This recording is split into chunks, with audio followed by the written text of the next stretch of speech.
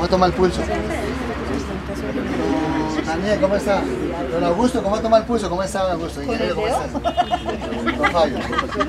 Veo que, veo que tenemos un poquito de nociones de tomar el pulso, pero estamos errados en un poquito. Porque si nosotros tomamos el pulso con el pulgar este, como lo están haciendo ustedes, este dedito tiene propias pulsaciones. Este pulgar tiene sus propias pulsaciones, ¿sabes que está haciendo esto?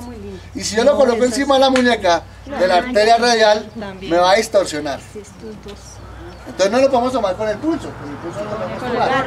¿sí? Lo tomamos con estos dos deditos. Con estos dos deditos sí lo colocamos dos sobre la arteria radial, ¿cierto? Cuando hablamos dos sobre la arteria radial, los textos nos recuerdan de, los radios, ¿sí, verdad? Un radiecito tiene su antena. Entonces tomamos el pulgar como si fuera nuestra antena y bajamos lentamente, suavemente y lo colocamos sin hacer presión, no. sin hacer presión. Todo el mundo vamos a hacerlo. Todo el mundo vamos a hacerlo suavecito, todo el mundo. Y vamos a tomar ahí el pulso. Ahí vamos a sentir que nos está yendo esto. El que no es muerto viviente. Es un muerto viviente. O sea que está vivo pero no tiene pulso. ¿Listo? ¿Sí lo encontramos? El que no lo encuentra es un muerto. Bien. Un zombie. ¿Sí lo encontramos?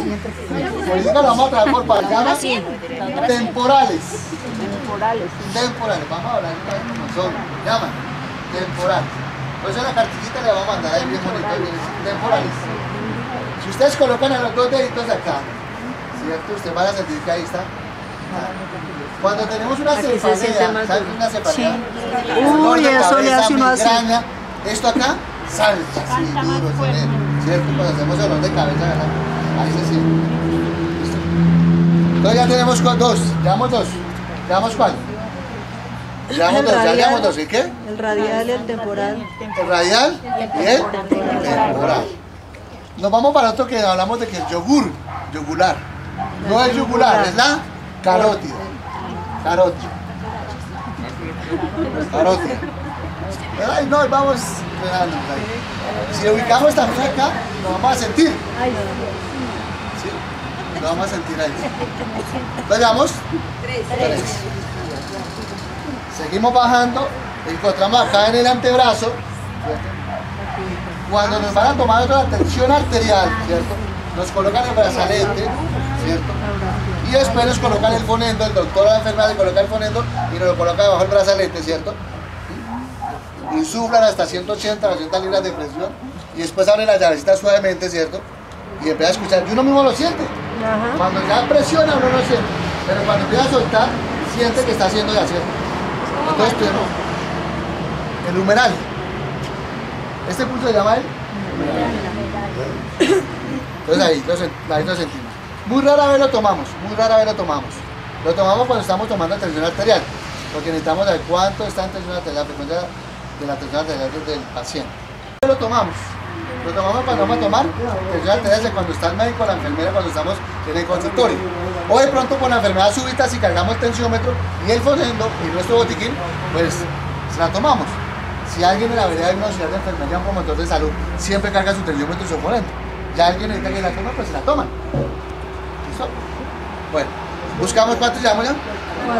Cuatro. Vamos para el quinto. Se llama el inguinal. ¿Cuál es el inguinal? Ahí es donde yo igual sí, manejamos el morfosismo porque nos toca meterle la mano por acá al paciente. Sea femenino o sea masculino, muchas veces nos toca detectar el pulso acá del inguinal. Que muy rara vez también lo tomamos, pero es un pulso que nos da también a nosotros. El pulso inguinal. ¿Listo? ¿Lo llamamos? Tenemos otro que es por detrás de la rodilla, que se llama el popipio. Que ese lo tomamos también cuando vamos a tomar tensión arterial. Cuando no podemos ubicar en el antebrazo, lo ubicamos aquí en la parte de atrás de la rodilla. Se llama popipio. Popipio. Popipio. O sea que tenemos Siete. ahí tenemos más. El facial y tenemos otros más. Pero con los que trabajamos nosotros más común son estos siete sitios donde ubicamos el pulso.